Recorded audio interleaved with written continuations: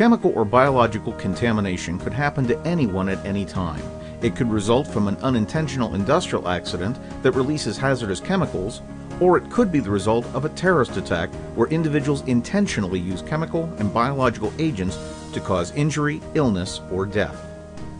For those combating these threats, the key is to decontaminate the area quickly and effectively.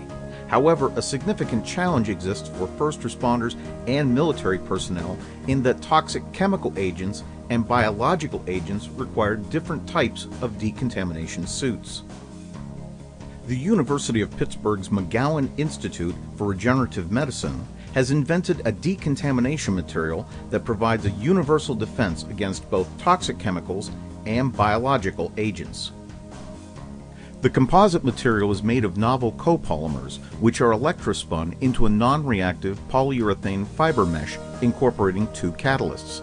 In the presence of water, the catalysts react to generate antimicrobial properties, making the fiber mesh effective against gram-positive and gram-negative bacteria.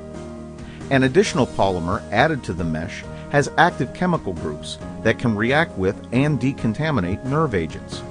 These chemical groups can also be cleaved from the polymer and act as a kind of antidote to nerve agent poisoning. This fiber mesh can be incorporated into a number of applications, such as filtration units, bandages, and protective clothing. This new decontamination material offers several key benefits. Number one, the material can be used in multiple applications. This single material is effective protection against both chemical and biological agents, thus reducing the need for multiple suits or other solutions. Number two, the material is lightweight. The physical configuration of the fiber mesh makes the material extremely portable for easy storage. And number three, the material provides chemical stability. The chemical makeup of the composite material is stable, thus reducing storage and maintenance cost. In addition, a minimum amount of water is required to initiate the chemical reaction. There are a range of market opportunities for this composite decontamination material.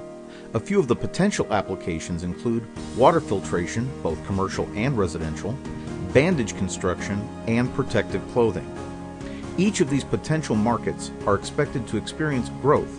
Water filtration, a 50% surge by 2030.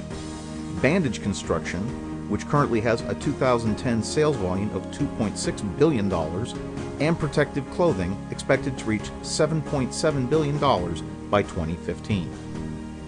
This decontamination material offers a real solution to a critical problem of chemical and biological threats.